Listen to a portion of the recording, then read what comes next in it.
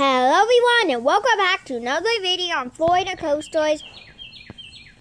And today's video is uh, Six Flags recently acquired new parks. They're now going to be Six Flags parks, which this is a big deal. So yeah, anyway, let's just get right into the video. First stop is Wet and Wild in Houston. Yes, Six Flags is now officially acquiring Wet and Wild Park. I bet they would have done it in Orlando if it could have closed. But too bad it closed, which is very disappointing. Very, very disappointing. And yeah, so next up is Wet and Wild in Arizona.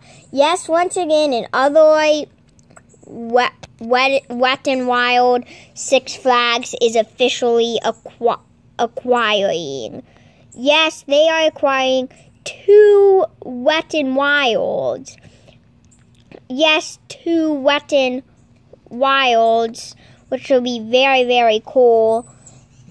And yeah, so so it looks like Six Flags is gonna put some amazing slides in these places. Next up, it's probably the biggest one yet. Six Flags Darien Lake. Yes, this is going to be a phenomenal park once it changes to Six Flags Park. Trust me, this park will just like, like be like amazing. And yeah, this was a neglected park, but they got tantrum this year. It's not I don't think it has, but I don't quite know though. And yeah, so so the so Darien Lake used to be a Six Flags park, and then it and then it and then it it wasn't Six Flags anymore, and now it is Six Flags again. If your home park is Darien Lake, so yeah, good for you. If these are your home parks, it's, and yeah, so last but not least is Frontier City in Arizona. Yeah? Yes. Wait, Arizona is getting two Six Flags parks.